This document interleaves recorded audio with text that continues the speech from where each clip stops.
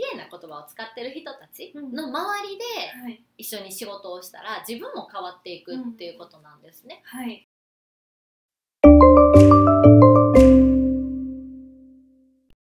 はい、こんにちは。株式会社ライアート代表塚本です。こんにちは。あかねです。はい、ということで、えー今日は女性の方で収入を上げたい方にはもう必見となってきます。はい、えー言葉をすごく大切にしてほしいということでこの言葉をどういう風に大切にしていきたいかっていうところをしっかりと守っていただけたらあなたの収入は今の月収の何倍ですか10倍とか超えて10ますね。倍そうですね。やばいですね。もう3倍5倍10倍とか、あと私は本当に思うのが、いえっと、年収？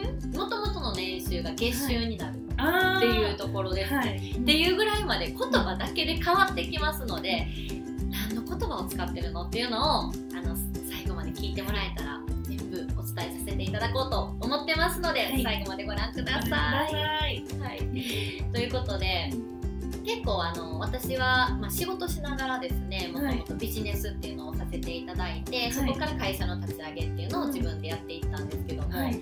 このもともとの仕事でやっぱいてる仲間がやっぱ口が悪かったり悪口を言ってたりとか、はいはい。昨日パチンコ行ってももうめっちゃ負けてもうたとかうんそんな話してるところにやっぱちょっと一緒にいたくなかったなっていうのがあって、うんはい。あと言葉が悪い人が多い。あわかります。ですよね。わかります。なんであうん。ここから早く離れたいなって思ったのは正直なところ、でそれって自分も使ってたんですよ。はい。あのやっぱり聞いてしまう言葉例えばこれ私たち大阪なんですけど、はい。はい。大阪弁出てるっていうのは何かって言ったら大阪に住んでるからじゃなくて大阪弁の人が周りにいるから大阪弁なわけじゃないですか。確かに。はい。でっていうことはその言葉を変えるには環境を変えてそのちゃんと綺麗な言葉を使ってる人たちの周りではい。一緒に仕事をしたら自分も変わっていくっていうことなん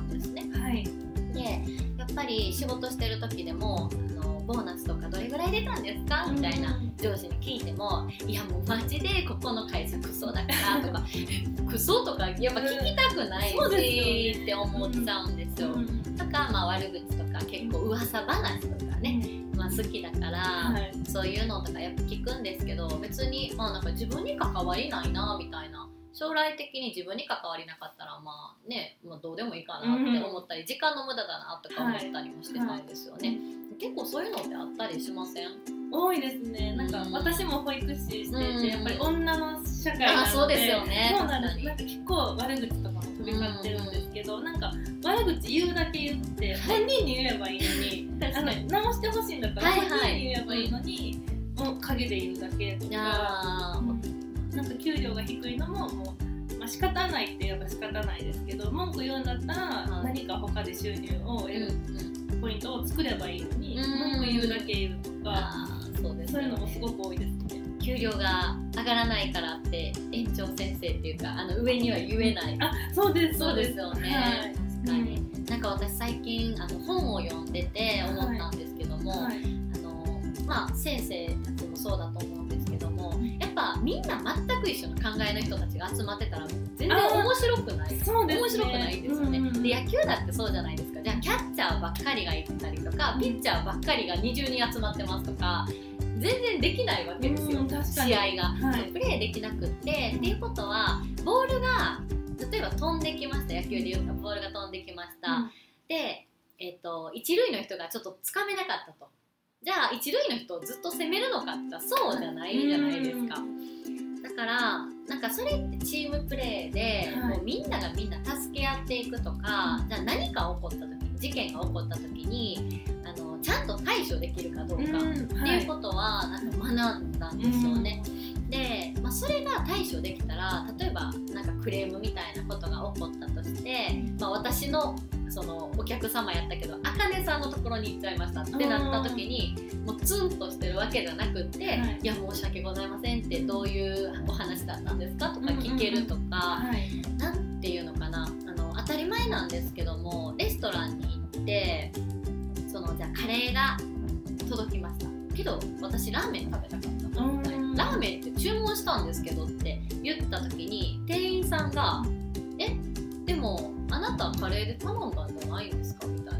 って言われたらちょっと、えイラってくるわけじゃないですか。ちょっとクレーム入れたえくなないんでいや私ラーメン食べたかったのにみたいな、はい。でラーメンって言ったしみたいになっちゃうと思うんですけど、はい。なんかそれもやっぱりレストランのチーム性だと思うんですよね、はい。そこで一言謝るか謝らないかとか、お客様って何かって言ったらやっぱりあの物を変えてほしいって言ってるあなんて言うんだろうそのラーメンを食べたいから言ってるんじゃなくってえなんでカレー持ってきたの？みたいな、うん。でそれに対して謝ってほしいからなんですよ、はい。悩み解決をそうしてほしいから、でっていうのとかをなんか学ばせてもらって、あすごいなって思ったんですけども、はい。やっぱりその人を助けていくっていうことであったりとか何かあったらあの日本人ってすごい優しくって、なので何かあったらすぐ助けてくれはするんですけども、はい。じゃあそこに対してそのじゃあ言葉ですよね。今投げかけてる言葉とかがやっぱ鏡の法則って言って自分が投げた言葉が戻ってきたりとかするわけなんですよはね。い。でそれをじゃあいい言葉に変えていきませんかと、うん、悪い言葉になっちゃってたらなってる環境ですよね、はい。うん、だったら結構そのついてこないって思ってるんです。でまあ変な話私もやっぱ500人ぐらいの方とアドバイスさせていただいたりコンサルとかさせてもらうんですけどもそこで、まあ、出会った方で最近もそうだったんですけどすごいなんていうのかちょっとギャルみたいなもう写真ももうギャルっぽいなっていう子だったんですけども、はいでこの子をすごい、まあ、変えたいというか変わってもらえたらもっとすごい良くなるのになって思った子がいたんですよ。はい。で、まあ、夜キャバクラで働いてて、もう本当客めんどくさいんですよね。みたいなことを言う子なんですよね。うん。なんかいるじゃないですか、でもそういう子って。はい。はい。けどやっぱりお客様がいるからこそそれは成り立ってるわけで、うん。お金もいただけてるわけだしだからそれをもうやっぱりどっかで口に出してしまってたお客様にもそれが出てしまう、うん出てしまうわけですよ。はいっていうのはなんか、うんやっぱり時間を無駄にしてしてしまってるんじゃないかなって思うところであってそのじゃあ言葉をどれだけ綺麗にするか綺麗にしていくためには一人で直そうと思っても難しいんですよね。はいうんなのでぱり環境っていうか、まあ、経営者の集まりとか私はそういったところに行ったりとか、ね、なんかあかねさんもそういうそういった環境にね入られて、まあ、そこで学んでることがあったりとかすると思うんですけども、はい。全然違いますよね。もう正反対ぐらい。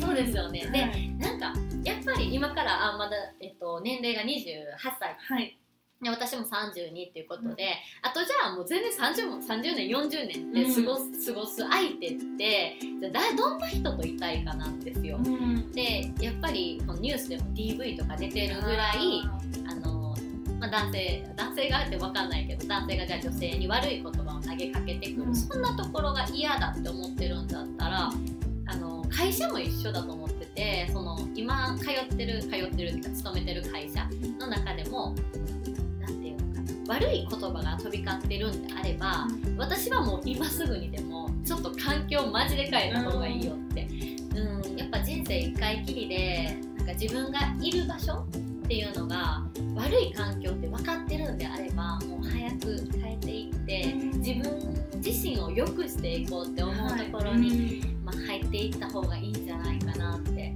すごく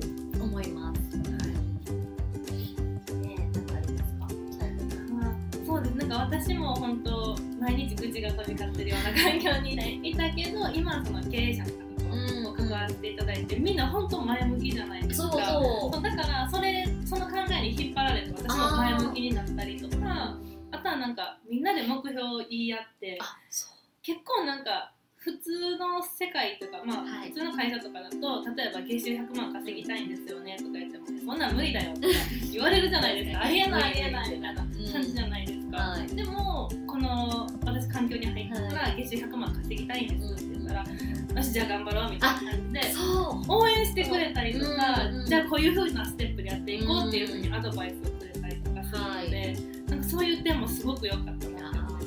それが一番ですよね、うん。やっぱりなんか目標を言って夢を語った時に、いやもうできないよってドリームキラーって言ってうん。夢を殺すって言うんですけど、はい。そうじゃなくって絶対できるよあかねさんだったらできるよって言われるわけですよね。そうなんですよ。すごい言ってくれて。そう。それで本当に100万達成とかしてるわけなので、はい。やっぱ仲間が仲間に恵り恵まれたら、うん。本当に良くなります。あなたの人生マジで変わるんで、はい。言葉一つで変わってくるということなんで、もし本当にちょっとずつでも変わってみたいなって思われるんであればぜひぜひですねあの LINE の方に連絡いただけたら、えー言葉を変えたいということで連絡をいただけたらと思います。で、えーそうですねあとはこの動画とかもいろんな情報ですね、はい、配信してますのでマイチャンネル登録もしておいてください。いはい、では最後までご覧いただきましてありが。とうございます